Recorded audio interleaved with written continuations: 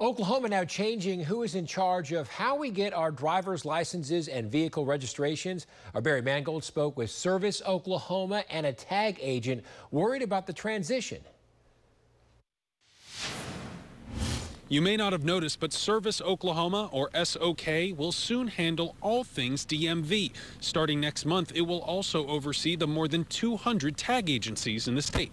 9 a.m. We're trying to be more proactive. We're trying to bring services to the citizen um, in the simplest, fastest, easiest way possible for them to. to Jay Doyle is the CEO of really, Service Oklahoma, a new branch of the State Office of Management and Enterprise Services. It's become the go to stop for licenses, car registrations, and more. He says their goal making DMV services easier. You need to, to redefine the customer experience for citizens and provide um, government services, really the stereotypical DMV services to citizens um, in the most efficient, streamlined way possible.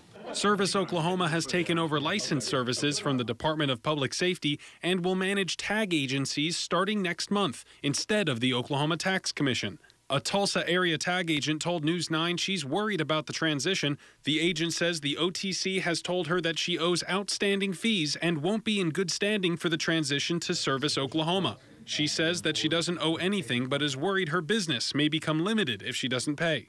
We don't know what all services we're going to offer yet.